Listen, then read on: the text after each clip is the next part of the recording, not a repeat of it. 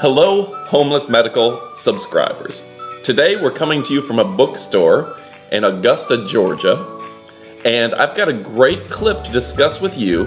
It's a gigantic blackhead. At least I think this is a blackhead.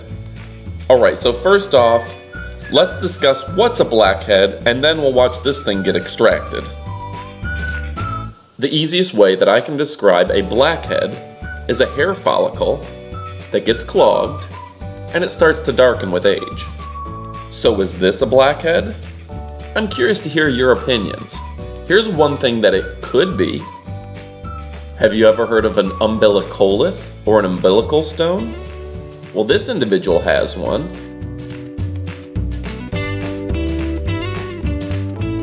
Is it possible that our original video is actually an umbilical stone? Or is it some sort of comedone? So I want to hear from you. Are we seeing an umbilical stone, maybe a scab, or a blackhead? Maybe something else. Leave that comment below. Comment with blackhead, stone, scab, or something else. Honestly, I love reading your comments, so make sure you click like and comment below.